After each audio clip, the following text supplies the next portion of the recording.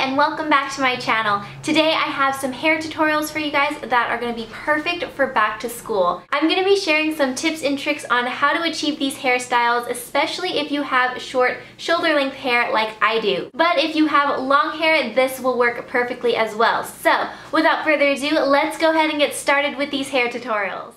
So for the first look, we're going to do the classic messy bun. And if you have hair like me and whenever you try to attempt a messy bun, you have all this hair in the back falling out and it sucks.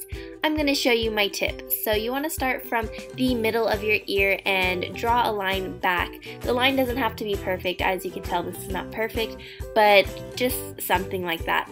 So with the hair on top, we're going to just smooth it out and or you can leave it a little messy, whatever your preference is, but we're going to tie it with an elastic and we're just going to wrap it once like that and then the second time we're going to loop it halfway through and then fan out the little messy bun and make it as messy as you want. Sometimes I like it even messier than this.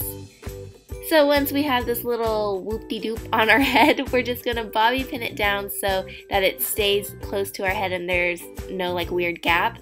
So I'm just going to bobby pin that in and then you can mess it up a little more if you want. I like to pull a little hairs to frame my face. And now with the back of the hair, we're actually going to braid it upwards like this and make sure you're pulling the braid at an upward angle like this and not straight down.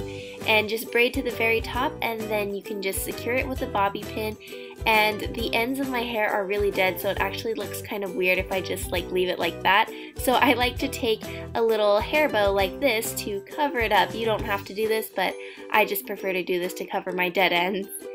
And if you don't like the line right there, the part, all you have to do is just gently pull down some of the hairs to make it a little more voluminous and hide the the parting that we did. And that is basically it for this first look.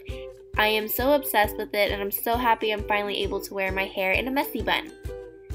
So now for look number two, this is the braided messy bun buns. So you're gonna need some extensions for this if you have short hair, and these are from VP Fashion, and I love that they actually match my weird colored hair. So I, you don't need to add all of the extensions, we're just gonna add a few of the wefts um, to give our hair length. That's what we're really going for. So we're not even trying to make them blend into our hair or anything like that. We just want to get the length so that we can create these buns.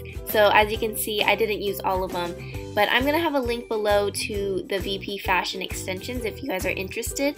But now we're just going to divide our hair in half and I'm going to quickly just do a simple braid onto each side.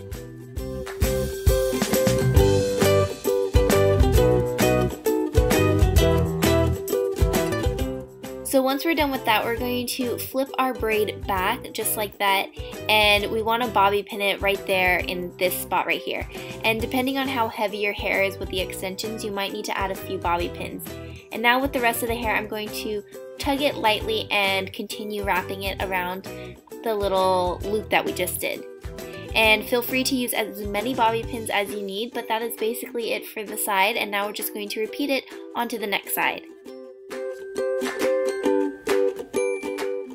And now from here you can choose to make it a little more messier, which I actually love doing. So I'm going to pull some bangs out and just fluff it up. And that is it for look number two.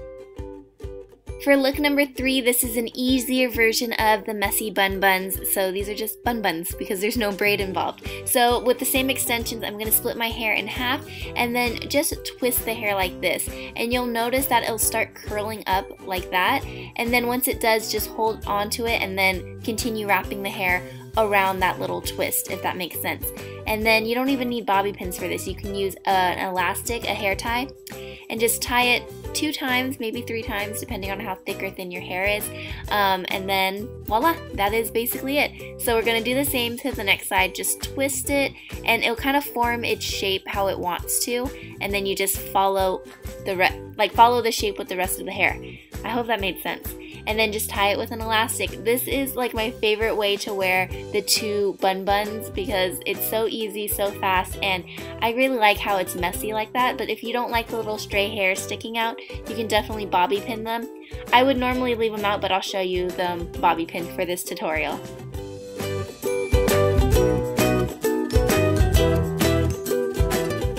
And voila, that's it for look number three. Let me know what your favorite was in the comments below. So that's it for this video. I hope you guys enjoyed. Let me know which hairstyle you liked best in the comments below. And if you recreate any of these looks, be sure to send them to me and use hashtag JaaackJack so I can easily find them. And a lot of times what I do when you guys recreate any of my looks is I will take the pictures and put them onto my Facebook page into a folder just for you guys and I'll give you a little shout out in the um, in the caption. So it's a great way to showcase you guys and see your guys' beautiful creations. So I think that's all I have to say. Um, be sure to subscribe and thumbs up this video and don't forget to check out my last two videos which I will leave linked below and at the end of this video. Thanks again for watching and I'll see you guys next time. Bye, have a magical day. I'm dancing to my own music. if I gave you all my love?